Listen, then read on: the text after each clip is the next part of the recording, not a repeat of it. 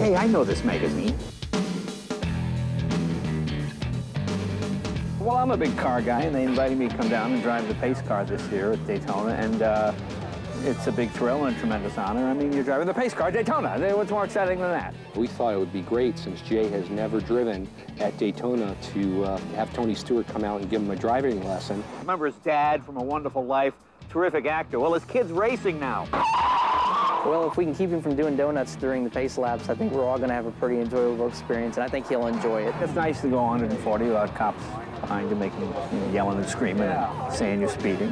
We know he's a big car enthusiast, and uh, we, we enjoy having him around. He's a lot of fun. All right, what do you got? Uh, tails. You lose. I'm driving. Let me see that coin. Get in! It took a lot of intestinal fortitude for Tony to get in the same Firebird with Jay. He's not a professional race car driver by any means. The track seems huge when you stand there. And then you go around it at 60, and it seems, still seems pretty big. And you go on 100, and it seems smaller. And you go on 130, and you go, suddenly this is like a two-lane highway, you know, and you realize how much skill uh, these guys really have. He's never been around the Daytona International Speedway till today, and it was nice to, to be able to take him out and just show him some pointers of, uh, you know, what running on the high banks is all about. He's been around Indianapolis, but it's a lot flatter of a racetrack, so uh, I think it was a unique experience for him today, getting on the high banks and uh, you know, really seeing what these cars could do. Just like PlayStation 2, huh, Tony? Tony?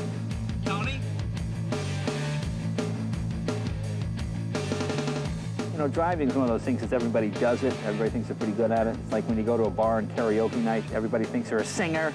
Uh, they're not. They're not. And, and, you know, it's fun to go out on the track and pretend to be a race car driver. And then when you actually have a real race car driver sitting next to you or you're in the passenger seat, you realize, no, let's just uh, keep dreaming. I can tell you one thing, when we're out there and it was just the two of us, he wasn't poking fun at anybody. He was, uh, he was concentrating pretty hard on what he was doing behind the wheel. It is fun to, uh, you know, just to ride with those guys and see what they do and, and try to, you know, through osmosis, try to pick up something.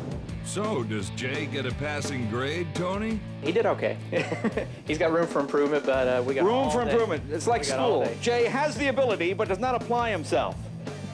If Jay wanted to, he could blank. Thank you, Tony, for that big encouragement. We'll get him where he needs to be. Yeah, I'm, yeah. I'm feeling secure that my Home Depot ride's going to be just fine. I'm not going to lose him. no, he thinks I should be at Home Depot, is where he thinks I should be, not at the track.